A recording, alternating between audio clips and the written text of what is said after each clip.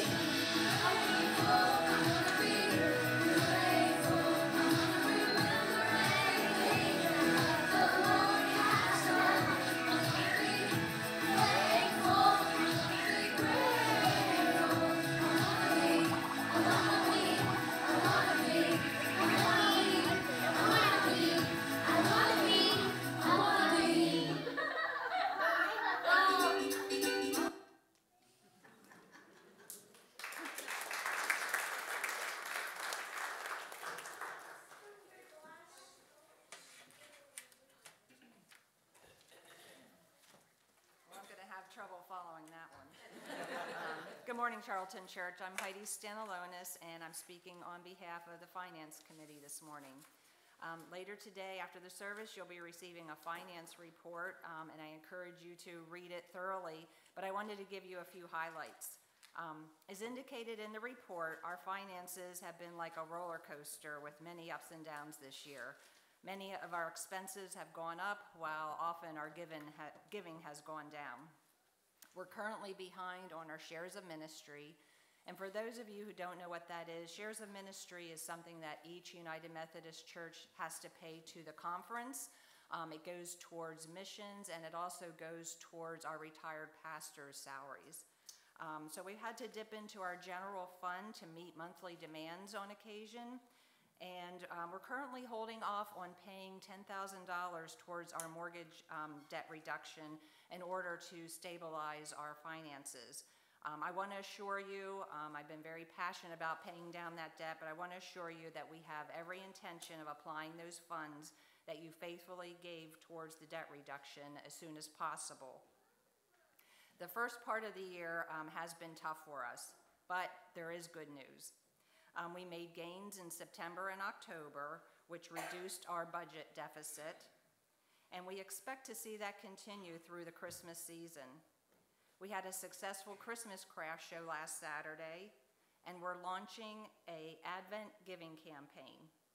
So we invite you to join us for an Advent campaign called Give. The campaign will help us raise money for our shares of ministry but it also will be an important reminder to everyone that our gifts do more than pay our expenses.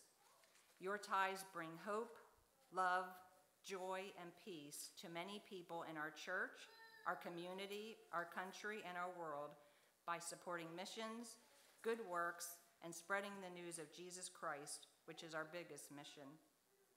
We understand that many of you have been challenged financially with increasing costs and rising interest rates and the finance report that you'll receive today provides some ideas of how you can increase your ties in spite of those challenges. You'll also read more about the Advent campaign and how you can help our church. And lastly, we need to think about beyond the Advent season and become a giving church throughout all the seasons. We'll be communicating more ideas to engage our con congregation, to help our church, and we would love to hear your ideas and suggestions as well. I'll be available following the service today if you have any questions or ideas. Thank you and be blessed.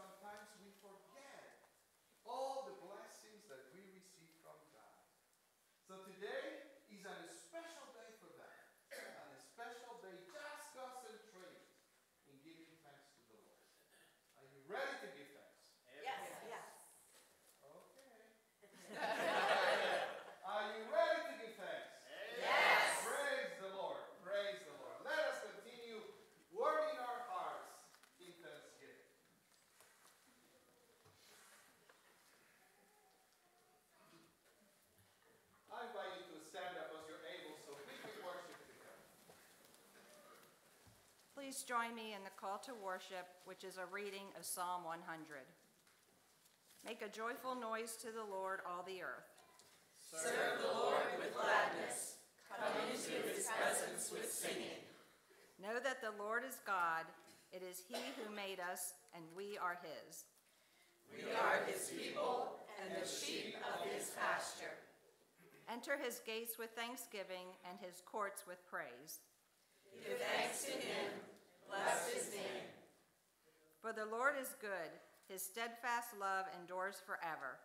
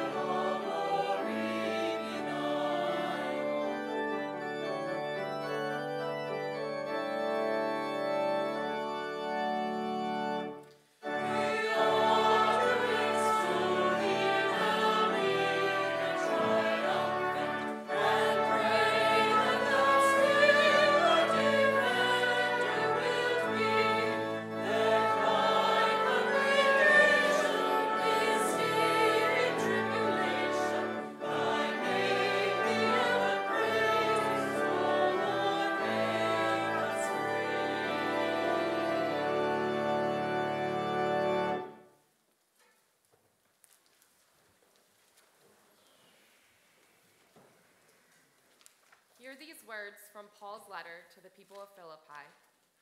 Rejoice in the Lord always. Again, I will say, rejoice. Let your gentleness be known to everyone. The Lord is near. Do not be anxious about anything, but in everything by prayer and supplication with thanksgiving, let your requests be made known to God.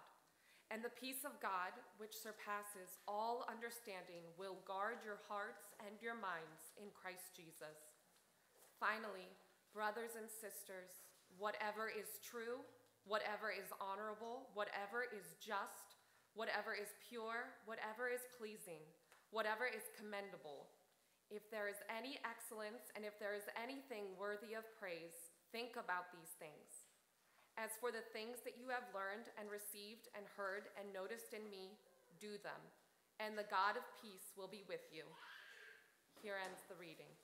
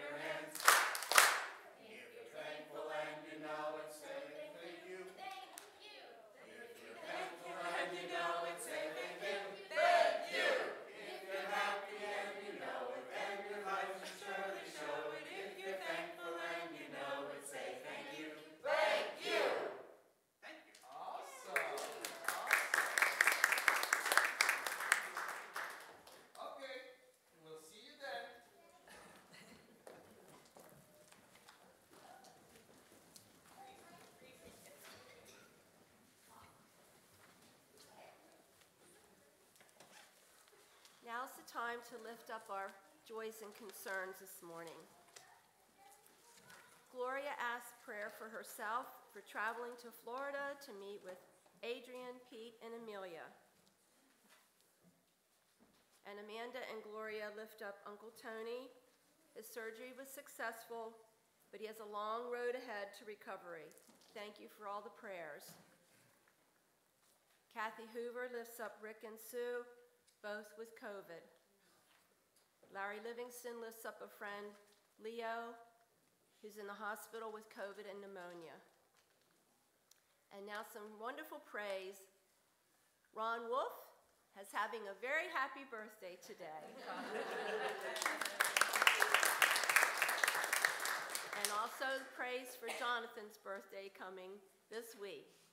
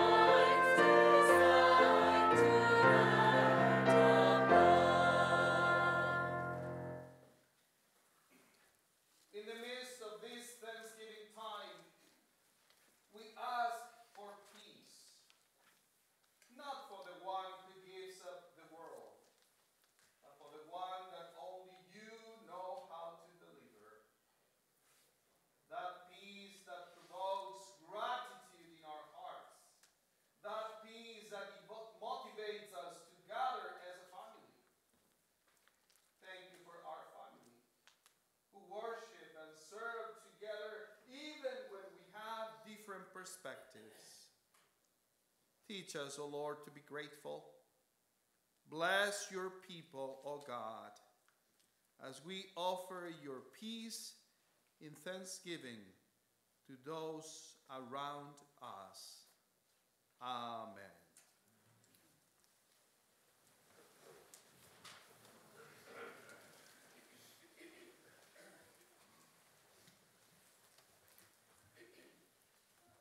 We often become so familiar with a scripture that we read or hear it without giving much thought. Sometimes we become so sentimental about it that we do not allow God to speak to us in new ways through it. Today, we invite you to listen to Psalm 23 as we remember that God's love and care for us is never ending. No matter what, The Lord is my shepherd. no matter what, I shall not want for anything.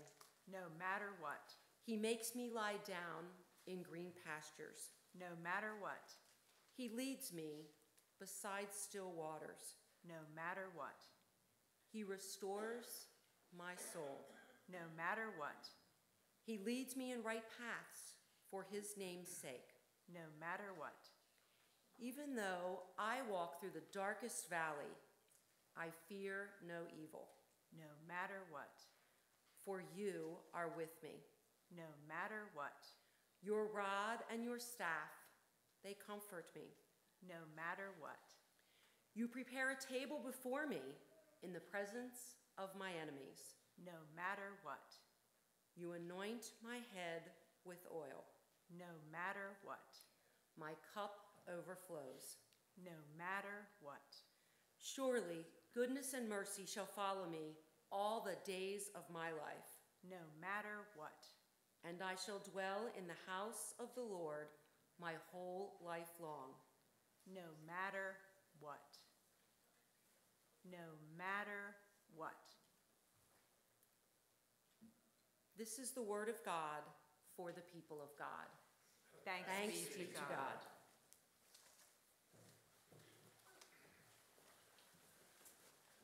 Okay, my promise was